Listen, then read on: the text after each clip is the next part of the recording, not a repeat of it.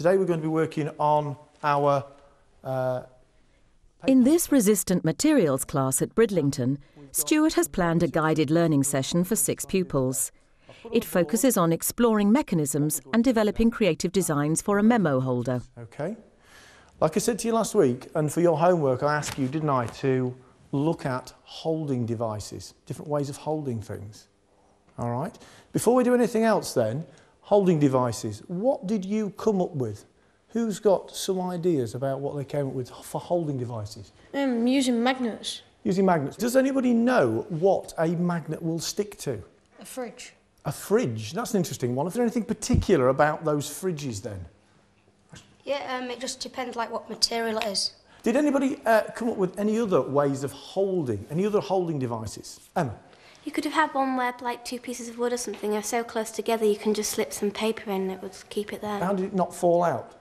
Because the two pieces of wood were so close together it was it tightened the Ah, so they were actually, were they kind of squashing together? Yes. Were they squeezing together? Yes. Oh, that's an interesting one. That is an interesting one. What we're going to do is break into our, our different groups. Um, I'm going to work uh, for quite a bit of time with a group over on this table here. Okay, so we're going to work through this and we want to move fairly quickly through um, uh, the idea of using mechanisms. We're going to analyse and compare. All right, now we need to do that. Now I've picked us today, I want us to see how we can get on and whether we can come up with some maybe a little bit, little bit more sophisticated, complicated solutions using those mechanisms, all right? Now to start with, you've all got a peg, all right? You've all got that peg. Now there's an example of a mechanism. Kelly, how do you think this works then? Um, does it use a spring action? It does, yeah. If we take it apart, let's have a look to see how, how it works. How many parts are there? Two minutes, having a go, see if you can put it back together.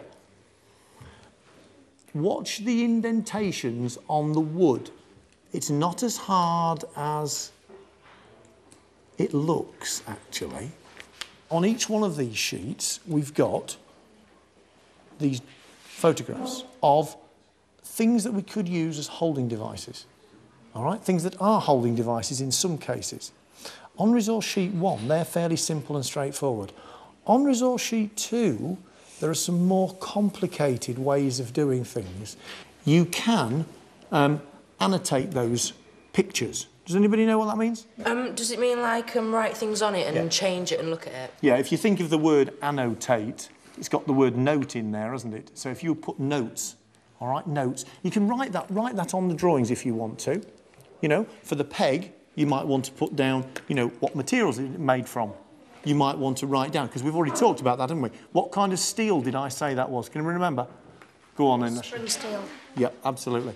Now here I've got two of these things. I'm not going to tell you what they are. Two of these things. I'm not going to tell you what they are. One of these things. What does it do? What does it do with the with the with the pieces of, of material? Is it very strong? Is that one very strong? It's strong enough. It's strong enough. What for? Um, What's it for? To hold a big packet of crisp clothes if you don't want to eat them all. And it's airtight. I think it's a bit like the peg because it's got the spring action wire and um, the two parts that it's bringing together, like the levers. Do you want to take that apart? Just to check you've not missed any part of it. Let's see. if we can- There we go. There we are. That spring's a bit strong, so you need to be a bit careful. That's it. Now, now look very carefully. Are there any extra bits? It looks like they slot into each other They do, yeah. in case that comes off, but it won't be able to Yeah. um, spring back. Right. So they, they do lock together. I think there are five parts. But two of the parts are, are stuck in a way that you can't deconstruct them. But you'll have to look, feel, touch, move your fingers over it. We were looking at um, these and we thought it might be like an easel holder because it has to um, hold really thick paper. And I won't use it like on normal A4 because if you put a sheet in, it'll just fall out. that's so you need? Yeah. either lots of um, thin paper or just one big thick piece. I think like you might have to add something like with the paper, like the easel, because it's like got a board on the back, like I've Ah, drawn it, so yeah, it's going to yeah, have to yeah, like, yeah. it's going to keep it tight. I think it's a good there. point. But just like it's really simple mechanism for like doing its job. It's Okay. nothing like too fancy or Yeah. too complicated. Um, right, so we've, we've had a chance to have a look at the products and we've had a look at some of the, the photographs and you've all worked, you worked in, in twos.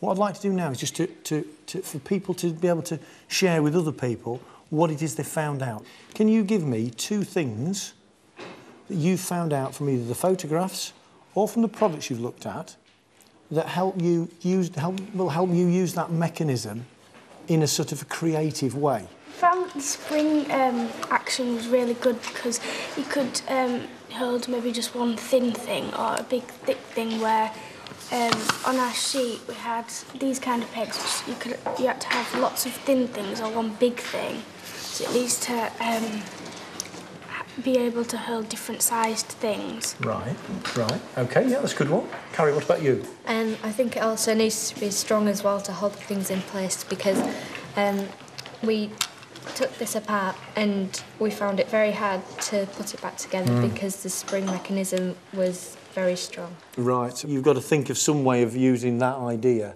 in your in your design uh, with some other materials to get that to get that amount of grip. I suppose is what is the right word, isn't it? Okay, that's lovely. That's great. Thank you, Josh. What have you got? I think that um, because we've actually annotated these images, um, it helps us like to discover what sort of design we're going to actually like produce because they're all of like different. Um, they're all some are complicated and some are less complicated than others. And I, I think I'd rather use the less complicated one because it's more simple and efficient, but Right. it still does the same job as the more complicated one. Okay, okay, that's fair enough. Yeah, Josh. Um, we found that um, these hold um, either lots of thin things or one um, quite thick thing, so um, we wouldn't use something exactly like this um, to just hold one piece of paper. Um, and we also found out um, about those which are used on a string system, so we thought we might be able to do Right. something with strings or ropes or something. Okay, Lauren, Emmy. We looked at this and we could use um, it to, you know, slot. What is it? Well, it's a springy thing. slinky when you have it open like that you could slot pieces of paper in between Right. the gaps Oh yeah, I see what you mean. Yes. And you could use it as a paperweight as well. Yeah, we thought we could make it out of that springy wood. Right. Have a look at some of these things here and see if you can compare those with what you've been looking at. The marble wouldn't help much because it'd always be rolling around and it wouldn't hold things in place as much. It's not very attractive. It looks like um, hard to work out how it actually properly works. It wouldn't hold it very well. No, not really. Well, this one's a bit like the easel board, but it don't really open that well, so you can't really slot anything in. And if you just slot it in about halfway, it'll just fall out. Don't really hold much. Yeah, this is just like the same mechanism as this one, but I think this is like just to hold like thicker paper or even a board. So look, it don't come out.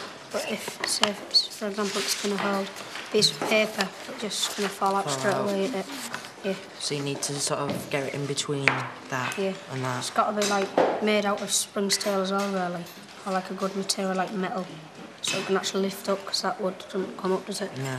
This is actually like a bottle stopper. Apart from it doesn't stop liquid. Yeah, it's like that's legal, isn't it? Like that. Yeah, but if you put like a piece of paper in it, it's a bit loose. Because say you had that on your wall, it'd slip out. You- You'd have to have something, you know, propping it up in there. You just spring or something like this. Mm, see, you could just I don't know, pop something up like that.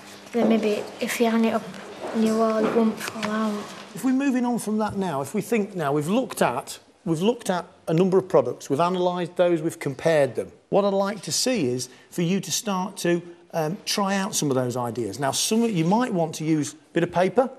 You might want to draw some ideas out on pieces of paper.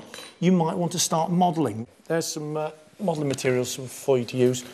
Okay, some Correx, some foam board, some cutting mats, knives, and what have you. Okay. What are you thinking? Okay, put that on there like that, and then you cut down there. So you put your fingers in that groove, and you cut down there. Now, you won't cut through all in one go, so cut through in say three or four goes. Okay. You might find it easier actually if you stand up, because you're higher up then. Okay. What are you going to do? You're going to put something on the front of it? Yeah, okay. Grab your... I've started my model and it's helping to develop my ideas. Well, I've discovered like um, all like different mechanisms, like how simple and complicated they are. I think this like is going to help me with the development and like the creativeness of the actual design that I'm going to Okay. make. I think what I need to do next is design like the top part of All right, okay. So you're looking at the aesthetics bit of it and what it looks like to other people? Yeah. Yeah? Okay, that's great, thank you. Um, I found that the most useful thing is to use a spring action because it's strong and it holds any size kind Right. of things. So function-wise, you think, you think that peg is probably the best in terms of how it functions? That's interesting, yeah, okay. You know, when you did your uh, annotation, was there, were there any other ones that you really liked on that? Um, I like I liked the, um, the wedging into the slinky because Right, it, it yeah. looked good, but it still held things Right. in um, in the right places. And Okay, so you quite like that one because it's a little bit different as well, isn't it? And that's, so it's that little bit of creative that we talked about.